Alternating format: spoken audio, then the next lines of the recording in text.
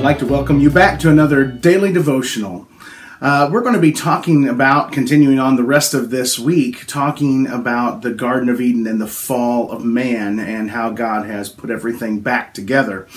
But today we want to continue on in Genesis chapter 3, verse 1. It says, Now the serpent was more subtile than any beast of the field which the Lord God had made. And he said to the woman, Hold on to this, this is very important. Had God said that you shall eat of every tree of the garden? And when you think about the tricky, the craftiness of that, he began to plant a seed of doubt in the mind of Eve. She had to stop and think, hmm, God really say I couldn't eat of every tree? She began to think and run through her mind, and she remembered what God had said. And we'll talk a little bit more about uh, that tomorrow and tomorrow's devotion, but I want you to think about today that seed of doubt.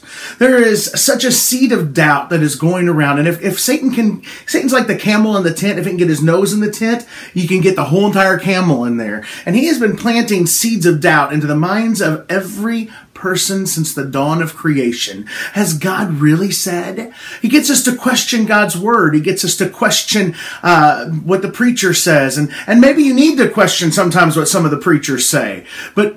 To doubt God's word, that it is legit, that it is 100% infallible, that God's word is true. Oh, did God truly say that? Is that really what God was driving at? I mean, God's a God of love and mercy, right? Why would he care what I do? God cares because He loves you. He sent His Son to die on the cross for your sins. That's why He cares. But Satan doesn't seem to care at all. In fact, he hates you. He despises you. But he comes across like, oh, I'm so, I'm on your side. I want things to work out well for you. yeah, it's because he's evil. Satan is nothing but pure evil. That's all he is. And the best thing that he can do is he can change and twist and warp your mind. That's all he can do. And so we find ourselves ourselves, getting ourselves into problems, getting ourselves into circumstances, and trying to become like God. And that's exactly what Satan has been out to do since the very dawn of time. My friend, can I tell you something? Can I tell you how much God truly loves you? He loves you so much that he sent his son to die on the cross for your sins.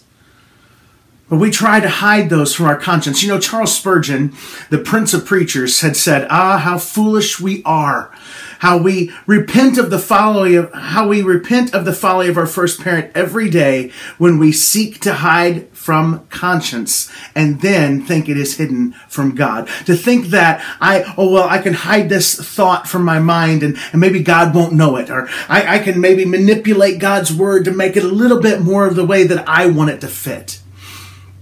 Our president, Barack Hussein Obama, had made a comment uh, when he was talking about the new group ISIL, uh, or ISIS, however you you want to say it. I don't really want to give them the L. I don't think they deserve the L. We'll just continue to call them ISIS for as all I'm concerned.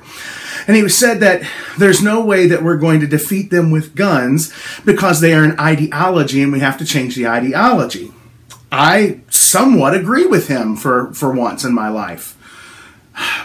Religion is an ideology.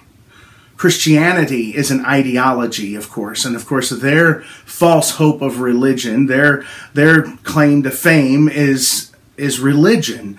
And so this is a religious war. If this is a religious war, an all-out attack against God, now President Obama says that this is an attack on Muslims. Uh, I'm hearing a lot of Christians being for this to be an attack on Muslims. However, we'll give him his benefit of the doubt.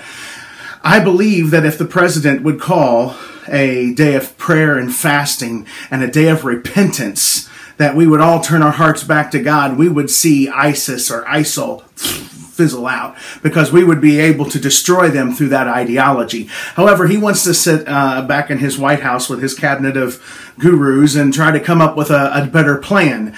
Uh, the only plan there is is if my people, which are called by my name, shall humble themselves and pray, turn from their wicked ways, then I will hear from heaven and I will heal their land. It's the only fix. President Obama will probably never see this video. It'll never grace the White House, but I can tell you it is the only fix for his problem is for our, for our nation to repent and to turn back to God. If we would do that, then I believe that God would wipe out and destroy our enemies as he always does in times past. But my friends, today Satan has give that little hint of doubt. Did God truly say? Is that really the way that it is? Oh, surely not. This must be a better way. And he has tripped and duped the entire nation of America into believing that. There are pockets of believers who are still holding on to God's faith and his truth. And I promise you, my friend, if Jesus comes back and pulls us out, this is not going to be a pretty world for us to live in. I never thought we would see the day where people would be beheaded for their faith before the return of Christ. I know that there are some mid-tribbers out there who believe that and some post-tribbers who believe that, but I'm still a pre-tribber. I never thought it would get this bad first, but I still believe that Jesus is going to be coming extremely soon. I just never thought we would see it quite like this when I was a kid growing up in the 80s and I heard about people having their heads chopped off. This is a, this is a war of biblical proportions, my friend. So I don't care if you believe pre, mid, or post-trib or whatever. Jesus is coming really soon, my friend. Soon and very soon. So make sure that your heart is right with Him and don't be listening to the lies of the devil when he says, Oh, has God really said that? Is the Bible really true? My friends, it is true cover to cover. 2,000 years ago, these beheadings for Christ were being foretold in the book of Revelation by John the Revelator, a man, by the way, that they could not kill. They couldn't kill him. They tried to dip him down in a vat of oil and burn him alive. When they couldn't kill the man, he was exiled unto the Isle of Patmos where he wrote the book of Revelation. I believe God was sparing John for such a time as this to give us our warnings for today. The Bible gives us a clear, clear cut warning. If you read the book of Revelation, you're blessed. It's the only book of the Bible that says you're even blessed for just reading it. My friend, dig into the Word of God. Jesus is coming soon. It is very, very real. So keep your eyes the sky.